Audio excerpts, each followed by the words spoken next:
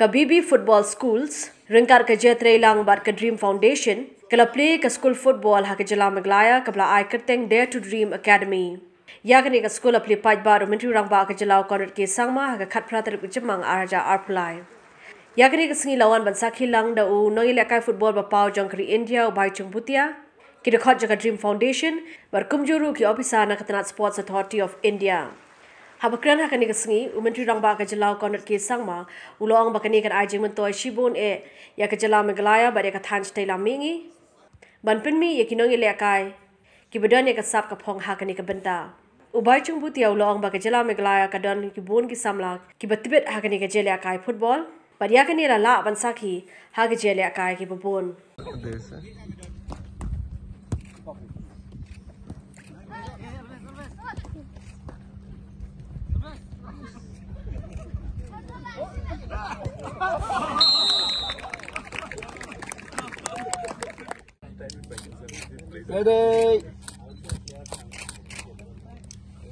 Where almost close to 1 lakh youths were surveyed. And in that survey, many aspects of the youth were discussed, whether it is about uh, you know, what their expectations are, what challenges there are, uh, you know, what would they like to be in life. Uh, it's a very, very detailed and comprehensive survey which uh, took us many, many months to. Apart from the many things that came out in the survey, one very interesting fact came out. And that was when we asked the, the children, the youth of Meghalaya, that what career they would like to pursue in the future.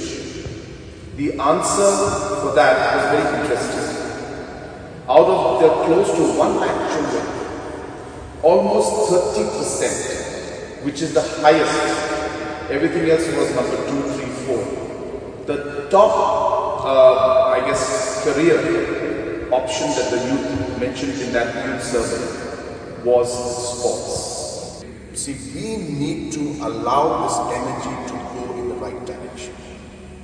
If we don't, I keep repeating this and I, it is the right forum to say it again. If we don't allow this ball of energy to go in the right direction, it will be a destructive force.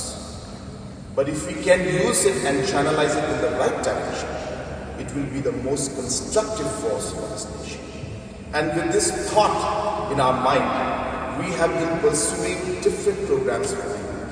Honorable CM Meghalaya State Footballers, and they've gone to the finals of Santosh Trophy, in fact, Yeah. which is a big, big achievement, you know. Uh, from a state from Northeast, I think they were the ones who went on to qualify.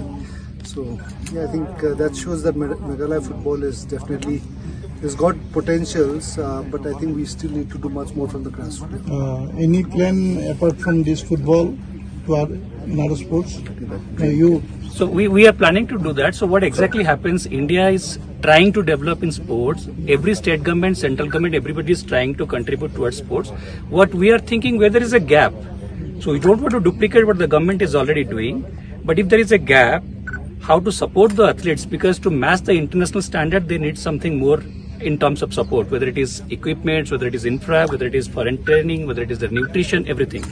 So we are trying to collaborate with each and every government. Where there is a gap, we just want to fill in so that ki everywhere, in every sport, not only football, we have a cricket academy with Dilip Vengsarkar, we have a boxing academy with Mary Kom. So we are also planning to expand our horizon. Yeah. So there is a plan for sure. So we want to do any kind of sports development in the entire nation.